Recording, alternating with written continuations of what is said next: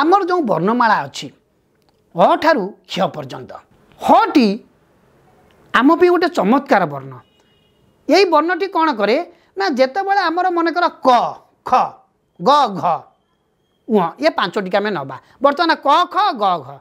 କରେ ଯଦି ହ ଟିକେ କକୁ ଯଦି ଟିକେ ଲହରେଇକିରି ହ ଦେଇକିରି ମିଶାଇ ଦେବେ ସେ ଖ ଭଳିଆ ହେବ। ତେଣୁ ହକୁ ଆମେ ମହାପ୍ରାଣ ବର୍ଣ୍ଣ କହୁଛେ। ଆମ ବର୍ଣ୍ଣ ଗୁଡ଼ିକ ଅଳ୍ପ ପ୍ରାଣ ମହାପ୍ରାଣ ହୁଅନ୍ତି। ବର୍ଗ୍ୟ ବ୍ୟଞ୍ଜନ ଗୁଡ଼ିକ। ଅଳ୍ପ ପ୍ରାଣ କ'ଣ? ନା ଯେଉଁ ବର୍ଗ ବର୍ଗୀୟ ବ୍ୟଞ୍ଜନ ଗୁଡ଼ିକୁ ଉଚ୍ଚାରଣ କଲାବେଳକୁ ଆମେ ବାୟୁ ଅଳ୍ପ କହୁ। କଟକ ଖଟ କଟ ଖଟ କ ଠାରୁ ଆମେ ଖ ଟିକେ ଅଧିକା ଉଚ୍ଚାରଣ କଲାବେଳକୁ ଅଧିକା ବାୟୁ ଦରକାର ହେଉଛି। ତେଣୁ ତାକୁ କୁହାଯାଏ ହ। ହ ଉଚ୍ଚାରଣ କଲେ ଯେମିତି ଟିକେ ଅଧିକା ଦରକାର ହୁଏ ସେ। ଏଇ ହଟି ମଧ୍ୟ ବେଳେବେଳେ ବିସର୍ଗ ଭଳିଆ ଉଚ୍ଚାରିତ ହୋଇଯାଏ। ହଟେ ହ ହେଉଛି ବିସର୍ଗର ସଂକେତ। ଅନେକ ବହି ରହିଛି ବହି ବହି କହିଲେ ହରେ ବିସର୍ଗ ଦେଇଦେଲେ ବହି କହିଲେ ବାହାର। ଯଦି ଖାଲି ବିସର୍ଗଟା ଉଠେଇଦେବେ ବହି ପୁସ୍ତକକୁ ବୁଝେଇବ। ବହି ବହି ଯିବା ପାଣି ବହି ଯାଉଛି ନଈ ବହି ଯାଉଛି। ମାନେ ଚିନ୍ତା କରନ୍ତୁ ଆମର କେମିତି? ଯଦି ସେଇ ହ ଅଳ୍ପ ଉଚ୍ଚାରିତ ହୋଇ ବିସର୍ଗରେ ପରିଣତ ହେଉଛି ଅର୍ଥ ବଦଳି ଯାଉଛି।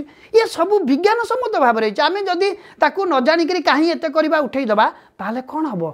ନିଜ ଗୋଡ଼କୁ ନିଜ ଅଙ୍ଗକୁ ଆପଣା ହସ୍ତେ ଜିହ୍ୱା ଛେଦି କିଏ ବା ଅଛି ପରମାଦି ଭବିଷ୍ୟତରେ ଯେତେ ଯେତେ ବିଶ୍ୱରେ ଆମର ଏଗୁଡ଼ିକ ଅଛି ବୋଲି ଏକମାତ୍ର ଓଡ଼ିଆ ଭାଷା ଭାରତବର୍ଷରେ ବିଶ୍ୱରେ ଯେକୌଣସି ଅଞ୍ଚଳରେ ଯେଉଁ ଶବ୍ଦ ଉଚ୍ଚାରିତ ହେଉ ଯେଉଁ ଭାବାର୍ଥର ଜ୍ଞାନ ତିଆରି ହେଉ ଯେଉଁ ଅର୍ଥ ପ୍ରକାଶ କରିବାର ଶବ୍ଦ ଆସୁ ଆମେ ତାକୁ ଲେଖିପାରିବା ଉଚ୍ଚାରଣ କରିପାରିବା।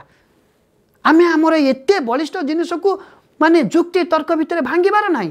ଯାହା ଅଛି ଆମେ କରିବା ହଁ ଚଳେଇଦେବ ଚଳେଇଦେବ ଯିଏ ଚଳାଏ ଆମେ ମନା କରୁନି ଚଳେଇଦେବ ଗ୍ରହଣ କରିନେବା। ବାପା ନାହିଁ ଦାଦିକି ଆମେ ବାପା ଭଳିଆ ମାନିଲେ। ଏଇଟା ଆମର ଭଲ କାମ। ୟା ବୋଲି କ'ଣ? ବାପା ଅଛି ବାପାକୁ କିଛି ନ କହିକିରି ଦାଦିକି ବାପା ଭଳିଆ କରିବା ବାପାକୁ କିଛି କରିବାନି ଏଇଟା କ'ଣ ସୁନ୍ଦର ଦେଖାଯାଉଛି? ଏତିକି ସେମିତି। ଆମେ ଆମ ବର୍ଣ୍ଣକୁ ସ୍ୱୀକାର କରିବା। ତାପରେ ରହିଲେ ଅନୁସାର ବିସର୍ଗ ଚନ୍ଦ୍ରବିନ୍ଦୁ। ଆଜ୍ଞା ଇଏ ଆମ ଭାଷାକୁ ସରଳ କରିଛି ଲଳିତ କରିଛି ଚମତ୍କାର କରିଛି। ଆପଣ ଲେଖିଲେ ପାଞ୍ଚଣ। ପାଞ୍ଚଣଟି କେମିତି? ପରେ ଆକାର ନିୟ ଯୁକ୍ତ ଚ ଅଞ୍ଚଣ କିନ୍ତୁ ଆମେ ପାଞ୍ଚଣ ଲେଖିଲା ବେଳେ କ'ଣ କହୁଛେ? ପରେ ଚନ୍ଦ୍ରବିନ୍ଦୁ ଦେଇକିରି ମଧ୍ୟ ଚଣ କରିଦେଉଛେ। ପାଞ୍ଚଣ ପାଞ୍ଚ ଲେଖିଲା ବେଳକୁ ମଧ୍ୟ ଚନ୍ଦ୍ରବିନ୍ଦୁ ଦେଇଦେଉଛେ। ବିଞ୍ଚଣା ଲେଖିଲା ବେଳକୁ ମଧ୍ୟ ସେଠି ଅଞ୍ଚ ଅଞ୍ଚ ନ କରି ବିରେ ଚନ୍ଦ୍ରବିନ୍ଦୁ ଦେଉଛେ ବଂଶୀରେ ଅନୁସାର ନ ଦେଇକିରି ମଧ୍ୟ ଆହୁରି ସରଳରେ ବଂଶୀ ବାଜୁଛି। ଉଚ୍ଚାରଣଟି କ'ଣ ହେବ? ବରେ ଅନୁସାର ସରେ ଦୀର୍ଘଇକାର ତାଲ ବେଶରେ। କିନ୍ତୁ ଆମେ ବଇଁଶୀ କହୁଛେ।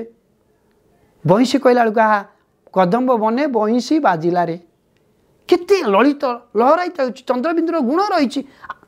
ଉଚ୍ଚାରଣରେ ଆମକୁ ଲଳିତ ସୁନ୍ଦର ମଧୁର କରିଦେଉଛି। ପୁଣି ଚନ୍ଦ୍ରବିନ୍ଦୁରେ ଆପଣଙ୍କୁ କହିଥିଲି ଗାଁ ଗାଁ ପାଇଁ ପାଇଁ।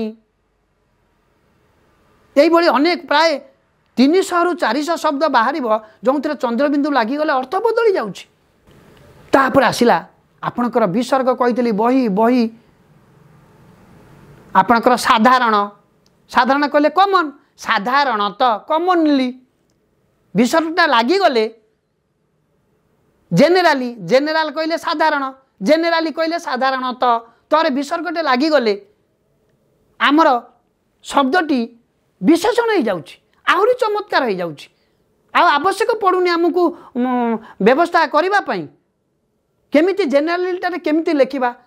ଆରେ ଆମ ପୂର୍ବପୁରୁଷ ଦେଇଯାଇଛନ୍ତି ବିସର୍ଗ ଲଗେଇ ଦିଅ।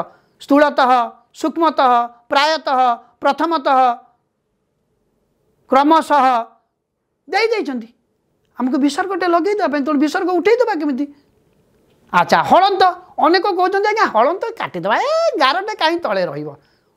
ବସ ବସ୍। ସମାନେ। ବସ କହିଲେ ବସିବା।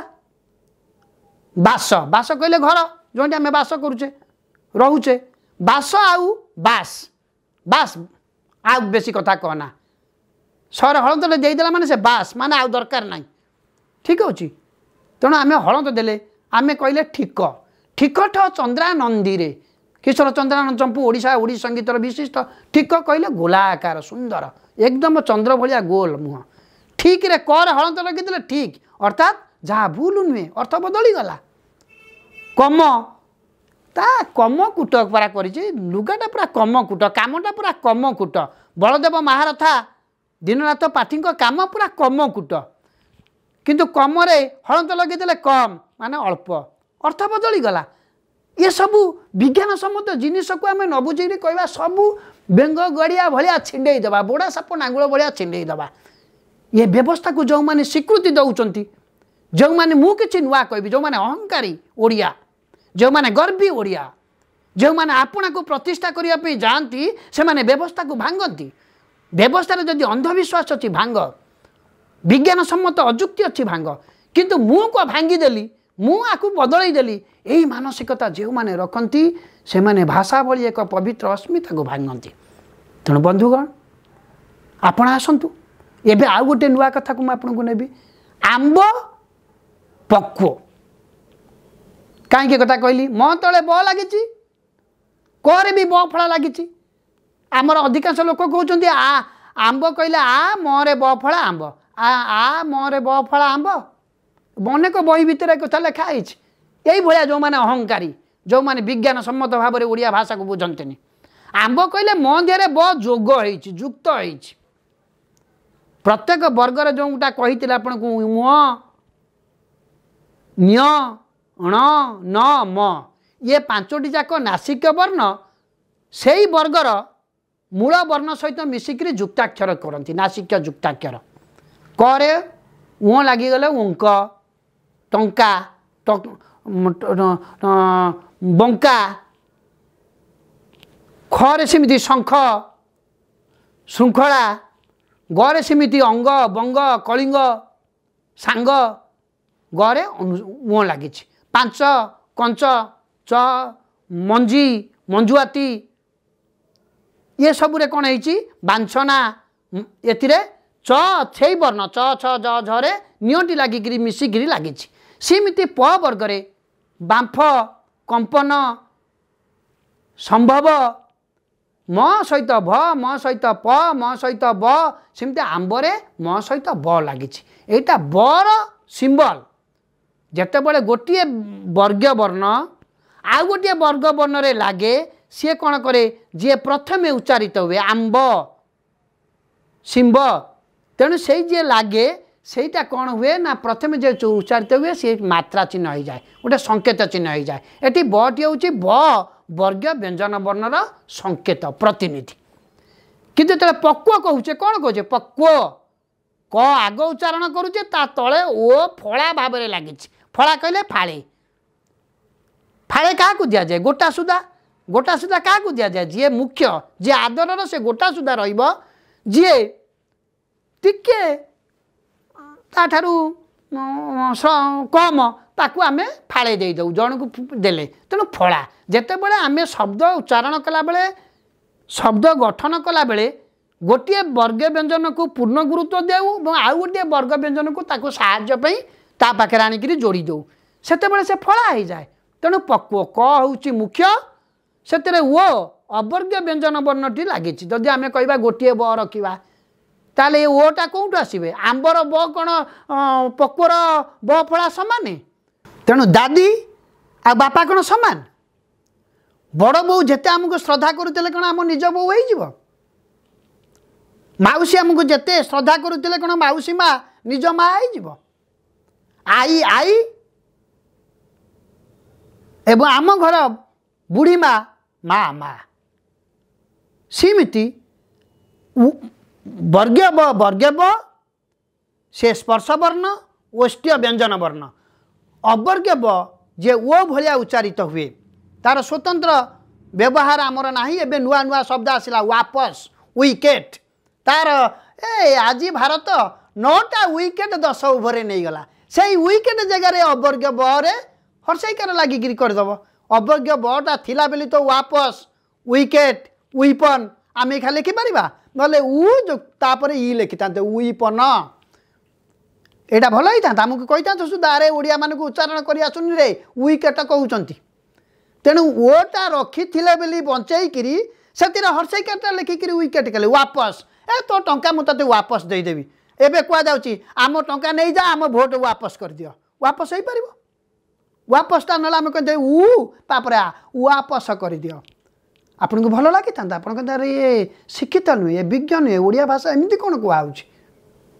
ତେଣୁ ଆମର ଥିଲା ବୋଲି ଅବର୍ଗ ବର୍ଗର ଓଟି ଆମେ ଆକାରଟେ ଲଗେଇଦେଲେ ତାକୁ କହିବେ ଓ ତଳେ କାହିଁକି ଗୋଟେ ବ ଫଳା ରହିବ ଏଠି ଗୋଟେ କାହିଁ ଲାଗିବ? ଏ ଯୁକ୍ତି ଉଚିତ ନୁହେଁ। ଯଦି ଏ ଯୁକ୍ତି ଥାନ୍ତା ତାହେଲେ ଆମେ କହିବା ବର୍ତ୍ତମାନ ଏ ନେଟା ଏମିତି ଲେଖା ହେଇଛି ଏଠି ଗୋଟେ ଗାର ପଡ଼ି କାହିଁ ଏମ୍ ହେଲା? କାହିଁ ସେ କାମ କଲେ? ଏମିତି ଗୋଟେ ଅଛି ତାକୁ ଓଲଟେଇ ଦେଲେ ଭି ଓଲଟେଇ ଦେଲେ ୟୁ ମଝିରେ ଗାରଟେ ଦେଲେ ଏ। କାହିଁ ଆଜ୍ଞା ଏରେ ଗୋଟେ ଗାର ପଡ଼ିବ? କାହିଁ ତ ଇଂରେଜୀ ବାଲାଙ୍କ ବେଳେ କହିପାରୁନା। କାରଣ ସେ ହେଉଛନ୍ତି ଆମର ବିଜେତା ବିଚିତ୍ର ଜାତି ଆମକୁ ଜୟ କରିଥିଲେ। ମାଲିକ ରାଜା ଥିଲେ ତାଙ୍କ ବିଷୟରେ କହିହେବ ପ୍ରତ୍ୟେକ ଭାଷାରେ ଯଦି ଏଇଭଳି ବିତଣ୍ଡା ଯୁକ୍ତି ଆମେ କହୁ ସେଇଟା ଖଟୁଆ ଭାଗବତରୁ ଷଣ୍ଡୁଆ ଭାଗବତ ଏଇଭଳି ବିତଣ୍ଡା ଯୁକ୍ତି ଯଦି ଆମେ କରିବା ତାହେଲେ ଦେଖିବ ସବୁ ଭାଷାରେ ଏମିତି ବିତଣ୍ଡା ଯୁକ୍ତି ବାହାରିବ। ଯାହା ଅଛି ତାକୁ ବଢ଼ାଅ ଯାହା ଅଛି ତାକୁ କମାଅନି। କେତେବେଳେ କମେଇବ? ଯଦି ତାହା କୁସଂସ୍କାର ସମ୍ପନ୍ନ ହେଇଥିବ ଅନ୍ଧବିଶ୍ୱାସ ସମ୍ପନ୍ନ ହେଇଥିବ। ଆମ ଭାଷା କ'ଣ ଆମର ଅନ୍ଧବିଶ୍ୱାସ? ଆମ ମା କ'ଣ ଆମର ଅନ୍ଧବିଶ୍ୱାସ? ଆମକୁ ଜନ୍ମ ଦେଇଥିବା ଜନ୍ମଦାତ୍ରୀ କ'ଣ କେବେ ଅନ୍ଧବିଶ୍ୱାସ ରହିପାରିବ? ଆମେ ଯେତେ ଉପରକୁ ଯାଏ ତେଣୁ ମାତୃଭାଷାକୁ ମଧୁସୂଦନ ଦାସ କହିଥିଲେ ଯେ ଆମର ଜାତିର ମାଆର କ୍ଷୀର ଭଳି ଆମର ଭାଷା। ସାରଳା ଦାସ କହିଥିଲେ। ଜଣେ ଆଧୁନିକ ନିର୍ମାତା ଓଡ଼ିଶାର ମଧୁସୂଦନ ଦାସ ଉତ୍କଳ ଗୌରବ ସେ କହିଥିଲେ ମାତୃଭାଷା ମୋ ଓଡ଼ିଆ ଭାଷା ମୋର ସ୍ତନ ମୋର ମାଆର କ୍ଷୀର ଭଳି। ଆଉ ଜଣେ ହେଉଛନ୍ତି ଆମ ଜାତିର ଆମ ଭାଷାର ଆମ ଐତିହ୍ୟର ଆମ ପୁରାଣର ଆମ ସମାଜ ଜୀବନର ଆମର ସଂସ୍କୃତିର। ସେ ହେଉଛନ୍ତି ସାରଳା ଦାସ। ସେ କହିଥିଲେ ଅକ୍ଷର ନିନ୍ଦା କଲେ ଜାତି ହୁଏ ଅନ୍ଧ। ଯେଉଁ ଜାତି ନିଜର ଅକ୍ଷରକୁ ବର୍ଣ୍ଣକୁ ଧ୍ୱନିକି ନିନ୍ଦା କରେ ସେ ଅନ୍ଧ। ସେ ଜ୍ଞାନାନ୍ଧ ଚକ୍ଷୁ ଅନ୍ଧ ହେଉଛି ଏକ ଶାରୀରିକ ଅନ୍ଧତା ବଡ଼ ଜିନିଷ ନୁହେଁ ଯେ ଜ୍ଞାନ ଅନ୍ଧ ଯେ ଅସ୍ମିତାର ଅନ୍ଧ ଯେ ଜାତିର ଅନ୍ଧ ଯେ ବିବେକର ଅନ୍ଧ ସେ ହେଉଛି ପ୍ରକୃତିର ଅନ୍ଧ ତେଣୁ ଆମେ ଅନ୍ଧ ହେଇଯିବା ତେଣୁ ବନ୍ଧୁଗଣ ଆମ ଅକ୍ଷରମାନେ ରହିବେ କି ନ ରହିବେ କେମିତି ରହିବେ ଯେମିତି ରହିଛନ୍ତି ବର୍ଣ୍ଣବୋଧ କାଳରୁ ସେମିତି ରହିବେ ଆପଣମାନେ ବିଚାର କରିବେ ବରଂ ନୂଆ ନୂଆ ଶବ୍ଦ ଆସିଲା ପାଇଁ ଆମେ ନୂଆ ବର୍ଣ୍ଣ ବ୍ୟବସ୍ଥା କରିବା ଉଚିତ